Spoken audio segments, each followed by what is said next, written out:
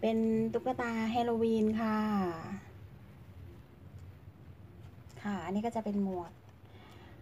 เรามาดูขั้นตอนการทำเลยนะคะ ขั้นตอนการทำมันก็ไม่ยากอุปกรณ์ก็จะมีแกนกระดาษทิชชู่นะคะ ลูกตาเทียมนะคะ แล้วก็กระดาษสี แล้วก็กระดาษที่เราไม่ได้ใช้แล้วค่ะ กระดาษเก่าอะไรเงี้ยค่ะ แล้วก็อันนี้จะเป็นแกนกระดาษ แล้วก็ระบายสีนะคะ เราไปดูขั้นตอนการทำเลยนะคะ ค่ะแค่นี้ค่ะ นี่เรามาทำชุดของตุ๊กตาก่อนดีกว่านะคะ เราก็จะให้ได้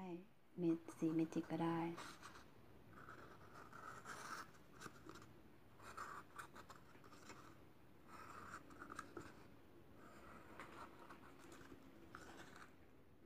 นี่เราจะทำชุดเป็นสีน้ำเงิน ระบายสีให้ทั่วเลยนะคะ เฉพาะส่วนล่างค่ะ แล้วก็เดี๋ยวปล่อยให้สีแห้งก่อนนะคะ แล้วก็เดี๋ยวมาเรามาเริ่มทำส่วนของหมวกนะคะตัดกระดาษมาก่อนอันนี้เรามาทำหมวกนะคะทำหมวก แบบนี้นะคะ แล้วก็พับเข้ามาอย่างนี้ทับตรงกลางก่อน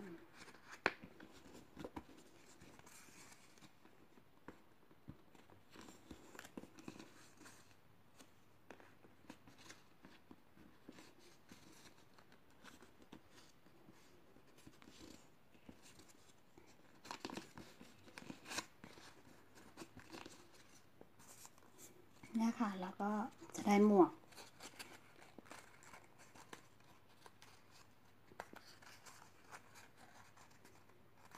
เนี่ยค่ะ ก็จะได้หมวกตุ๊กหมวกตุ๊กตา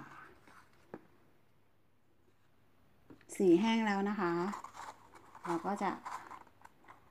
มาทำให้เป็นแบบนี้ ใส่แบบนี้ เดี๋ยวเริ่มตกแต่งกันเลยนะคะ อันนี้เราใช้ไหมพรมทำเป็นเส้นผมนะคะ